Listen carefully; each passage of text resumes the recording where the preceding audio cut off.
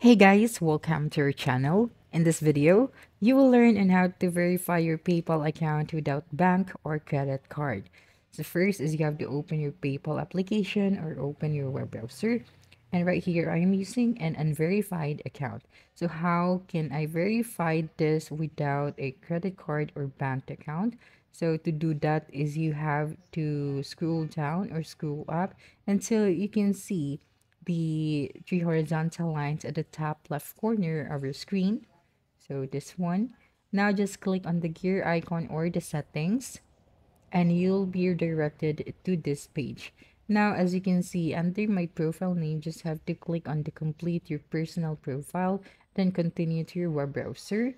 And once you've done that right here, you can create paypal.me my profile. So with a photo and unique link, people can see you have a PayPal account. So just click on it. And right here, you can add a photo or you can skip this part. And right here, you have to create your link. So make sure to have the available link and then click on next. And right here, you just have to check this box that you have agreed that your name, photo, username, email, and mobile can be shown to others to make it easier to find you on PayPal just have to click on agree and create and as you can see now your profile is live so you can manage your profile and add more into it to your account settings once you're done just click on done and here you go you have verified your PayPal account without even adding your bank or credit card.